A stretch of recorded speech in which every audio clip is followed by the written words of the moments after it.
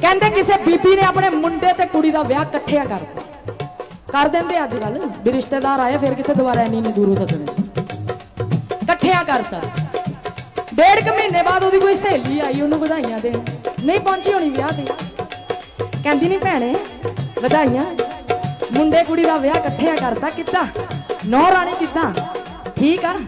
ਨਿੱਕਾ ਦੀ ਨੌ ਰਾਣੀ। ਉੱਠਦੀ ਮੰਜੇ ਤੋਂ ਪੈਰ ਨਹੀਂ ਥੱਲੇ ਲਾਉਂਦੀ। ਮੁੰਡਾ ਬੈਠੀ ਨੂੰ ਜਾ ਦਿੰਦਾ। ਰੋਜ਼ ਸ਼ਾਮ ਨੂੰ ਬਾਹਰ ਰੋਟੀ ਖਾਣ ਚਲ ਜਾਂਦੇ ਆ।